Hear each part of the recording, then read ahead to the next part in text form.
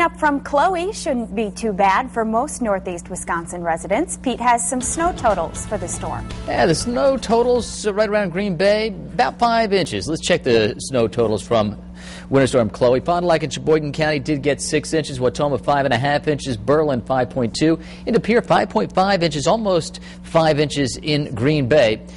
The winner in Brown County, Denmark, 6.5 inches. You see Kewaunee with 4 inches and Oshkosh around 3 inches. So the snow totals were where we expected, anywhere between basically 2 and 4 inches, with some locations getting about 5 inches and some around 6, uh, especially because of that lake effect and lake enhanced snow. We're still getting some mainly flurries along the lakeshore here, and there's a chance of some flurries this morning.